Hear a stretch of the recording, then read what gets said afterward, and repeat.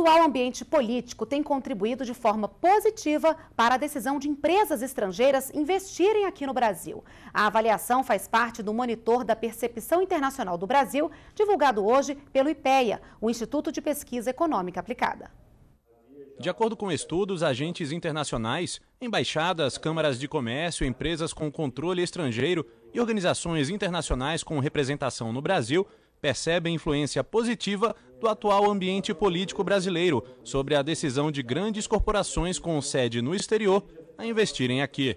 28% dos respondentes consideram que a influência do ambiente político era muito positiva sobre a disposição de investir no Brasil. Muito positiva. E 51% consideravam que era moderadamente positiva. Né? Aqueles que consideravam que não havia nenhuma influência era apenas 5%, Aqueles que consideravam que era ligeiramente negativo era 13%, e aqueles que consideravam muito negativo era apenas 3%. Ou seja,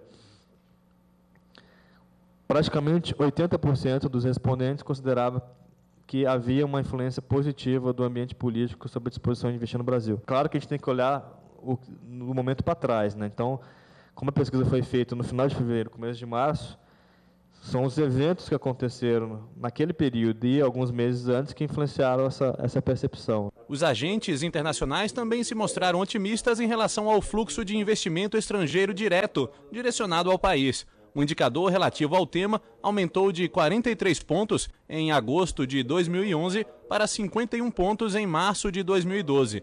Outro indicador que apresentou evolução favorável foi o de qualidade da infraestrutura, que alcançou 12 pontos positivos frente aos oito negativos da edição de agosto de 2011.